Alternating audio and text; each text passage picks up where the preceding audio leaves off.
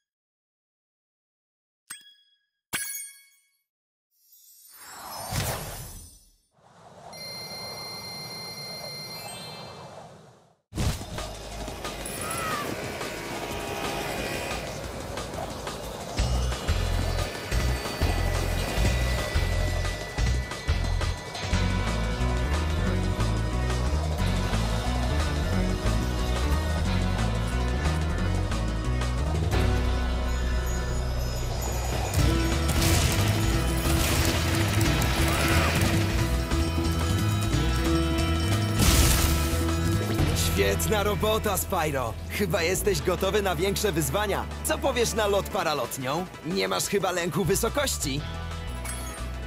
Świetnie! Pociągnę cię skuterem, a ty przelatuj przez pierścienie. Żadnego nie pomiń, by nie musieć zaczynać od nowa.